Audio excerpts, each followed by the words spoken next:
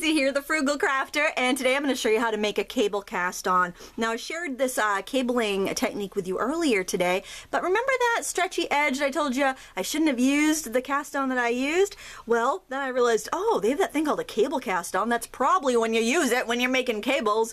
Durr, says Lindsay as light bulb flashes over her head.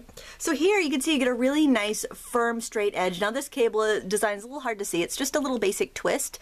Um, this uh, These two yarns I held together uh, to knit with kind of um, obliterated my lovely cable design, but you know, I'm going with it. I think I'm going to make a head wrap. I always like to go forward. I never like to rip things out.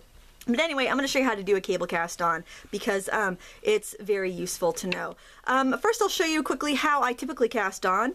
Uh, start with a slip knot.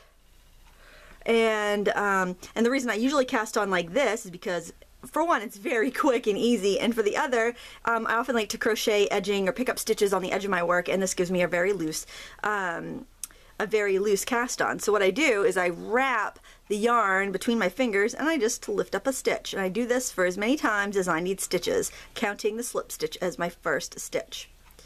Alright, so that's pretty easy. Look how quickly that goes. And now I have all these little stitches on there. And then, uh, but when I knit it across, you're going to see what I mean about it being stretchy. Um, on this cast on, when I knit, look at the gap that is created. Whoops, I split my skein. Let me do that again. I split my yarn. This is kind of a woolly rovy yarn. See, when I when I go over there, I get that little gap in there. Now that's not a big deal, but if you are doing a cable or something where you're kind of, you know, pulling those stitches into submission, that little gap in there is going to give you an edge like this. It's a little kind of wavy gravy instead of a nice, tight, neat uh, edge like this. You'd want to use a um, cast on like this when you wanted something stretchy though, so just file that away in your head. It's easy, it's stretchy, great for beginners and children because a lot of times they're white-knuckled knitters and they can't get their uh, their needles into their stitches because they're too tight.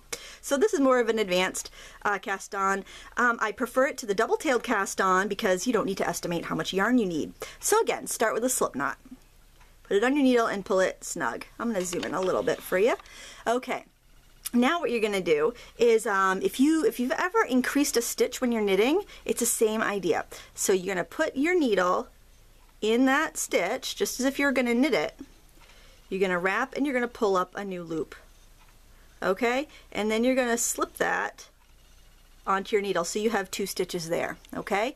Now for every other stitch what you're going to do is you are going to put your needle between the stitches. You're going to go under the needle over the little knot there and between the stitches.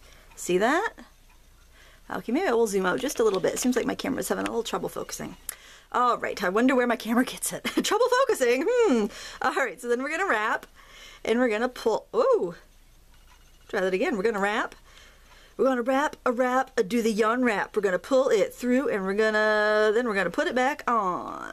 Okay, see that? So now we got three stitches on there. Um, then we're going to go between these two stitches again. We're going to wrap with the uh, working yarn, not the tail. Geez Louise, we're going to pull that off and we're going to put it back on. Now notice that little motion there, okay? What I'm doing here, I'm wrapping. Yo, yo, I'm wrapping with my yarn. Okay, sorry. Uh, look how I'm going in the back of that stitch there to pull it over, okay? You want to do that so you get this nice little row of bumps on the bottom. Alright, let's do it a couple times so you get the hang of it. I just learned how to do this today, actually. Um, but as you can see, it's pretty easy. If you need to stretch it out a little bit to get your needles through, go ahead because you could just simply tug on the yarn to tighten it up. Okay, so um, it's really, really easy. So you're basically knitting as you cast on.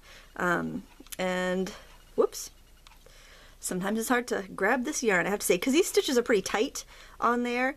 Um, so it is it is a little bit harder to get your needle through there. So don't pull it too tight. If you pull it too tight, you're never going to get that needle back through so that you can make your, your new stitch. Now do this for however many stitches you need in your pattern, whatever it calls for, just cast on that many. This is much, this takes a lot longer than the uh, the first method I showed you, but it's really, it's really essential. You want to take this time when you're doing a cabled uh, something you're going to cable, like a cabled scarf or something, just to give you a nice finished edge. Alright, then to knit, you just knit simply as you would before, and you'll see the difference here when you knit this, how there isn't really that gap in between. You see that? You can actually kind of see those knit stitches being formed right there. You're going to end up with a little bit wider of a first row than you would with the other cast on method, my lazy cast on method that I showed you earlier. All right. It's pretty simple. And you just go and knit. And um, the reason, just make sure you don't cast it on too tightly or it's going to be hard to get your needle through. All right. But it's going to behave a lot like your regular um, rows of knitting. You know how that first row can sometimes be a doozy. This is to knit like your um, like your regular rows, not like the cast on row. It's it's pretty pretty cool.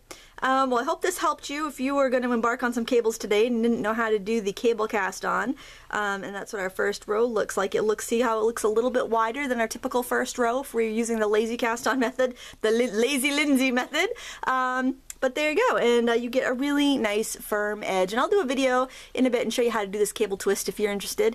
Um, and that's it. Thank you so much for watching. Until next time, happy crafting.